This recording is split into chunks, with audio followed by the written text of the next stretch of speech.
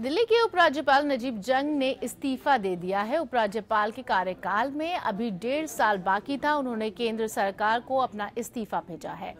जंग के उत्तराधिकारी के नाम को लेकर भी कयासों का बाज़ार लगातार गर्म है। सूत्रों के मुताबिक पूर्व गृह सचिव अनिल बैजल दिल्ली के अगले उपराज्यपाल होंगे। गौरतलब है कि दिल्ली की केजरीवाल से उनकी तनातनी के किस्से लगातार सामने आते रहे हैं, लेकिन इस्तीफे की सटीक वजह क्या है इसके बारे में अभी तक कोई जानकारी नहीं मिली है। हालाँकि नजीब जंग ने इस्तीफे में ये ज़रूर लिखा है कि वो अब अपने पसंदीदा काम अकेडमिक की ओर जाएँगे। उन्होंने अपने इस्तीफे में लिखा है कि वो प्रधानमंत्री मोदी को अपने कार्यकाल में सहयोग के लिए उनके आभारी हैं और इसके साथ ही उन्होंने दिल्ली की जनता को भी बधाई दी है। साथ ही उन्होंने दिल्ली के मुख्यमंत्री अरविंद केजरीवाल को भी धन्यवाद दिया।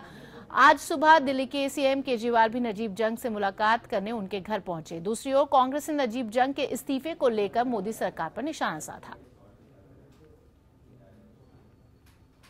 हम लोग ये जानना चाहते हैं कि क्या डील केजरीवाल और नरेंद्र मोदी जी के बीच में आपस में हुई है, जिसकी वजह से इनको हटाने का दबाव इनके ऊपर डाला गया।